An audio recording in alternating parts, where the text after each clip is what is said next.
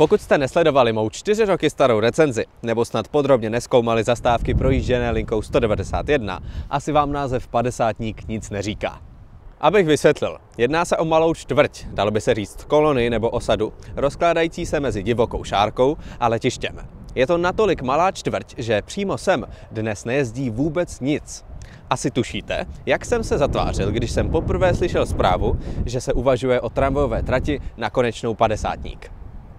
Toto prodloužení má vést z budoucí tramvajové smyčky Dědina. Nejprve obslouží vlakovou zastávku Praha Dlouhá míle, někde tady. Poté tramvaj zastaví na zastávce k letišti, přímo u terminálu 3 zabočí vpravo a po asi 300 metrech se dostane na svou konečnou padesátník. Toto trasování asi skutečně smysl nedává, dokud si neprozradíme, že má na tomto prázdném místě vzniknout komerční centrum Prague Airport Park. Dle citace developera.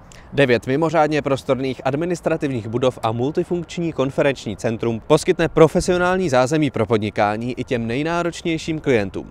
Následují chlouby o dostupnosti a zeleni a podobně.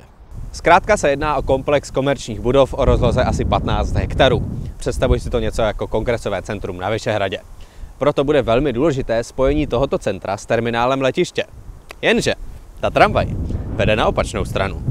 Překvapuje mě, že se v dokumentu vůbec neuvažuje o případném prodloužení tramvajové tratě až k hlavnímu terminálu. Přitom Ropit sám upozorňuje, že i po prodloužení trati sem na padesátník bude nutné zachovat nízký interval autobusu a sem bude prodloužena jen jedna tramvajová linka.